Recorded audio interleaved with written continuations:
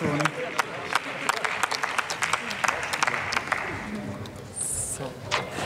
Sehr geehrte Frau Präsidentin, geehrte Damen und Herren, liebe Kollegen und Kolleginnen! Ja, viele junge Menschen in Deutschland sind politisch aktiv und zivilgesellschaftlich engagiert. Ob bei Fridays for Future, in Vereinen und Jugendorganisationen oder auch bei spontanen Aktionen in ihren Schulen und Kommunen. Das ist gut so, denn das ist das Salz in der Demokratie. Das gilt es zu fördern. Als Politik sind wir gefragt, auf allen Ebenen Beteiligung zu ermöglichen und zur Beteiligung zu ermutigen. Denn Demokratie lebt von Demokraten und Demokratinnen, von Menschen, die sich einmischen und die Verantwortung übernehmen. Und damit kann man gar nicht früh genug anfangen. Das muss man von klein an üben.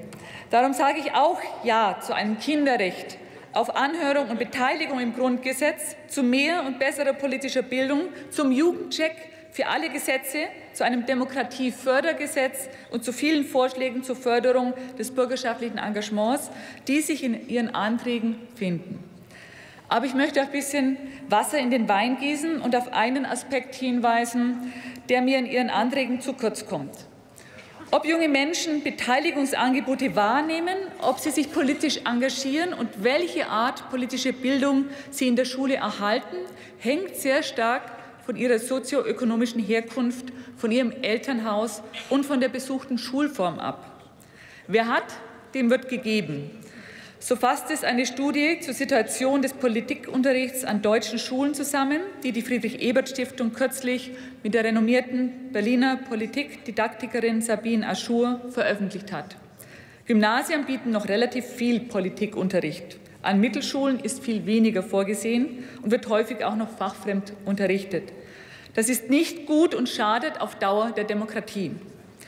Wer wählt und nicht wählt, das ist nur oft eine Frage des Stadtquartiers. Und die Fraktion der Nichtwählenden ist gerade bei jungen Menschen besonders groß.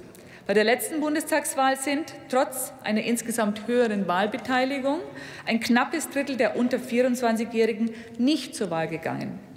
Hier müssen wir aktiv werden mit schulischen und außerschulischen Angeboten für die vielen jungen Menschen, die sich momentan überhaupt nicht angesprochen fühlen und für die wir auch kreative Ideen und neue Formate der politischen Bildung brauchen.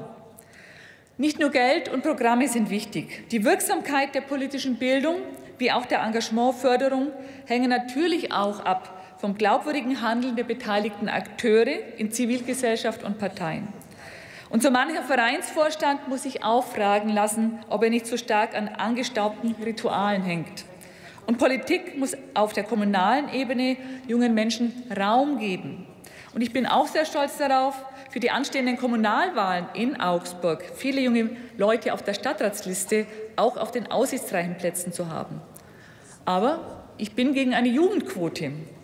Aber wir brauchen eine Kultur in Parteien, und zivilgesellschaftlichen Organisationen, die den Jungen und ihren Ideen Raum gibt. Auch wenn sich manche gute Idee natürlich auch in der Konfrontation mit dem Althergebrachten besonders schön entwickeln und schärfen lässt. Das sehen wir jetzt auch wieder bei Fridays for Future. Anbiederung ist nicht gefragt, ernst nehmen und Raum geben aber schon. Das geschieht jetzt auch und Politik bewegt sich und reagiert auf den Protest. Und das ist schon ein ermutigendes Zeichen, auch für die vielen, die glauben, nichts bewirken zu können. Engagement wirkt. Vielen Dank. Vielen Dank, Ulrike Bach. Nächster Redner für die FDP-Fraktion, Gregorios Agelidis.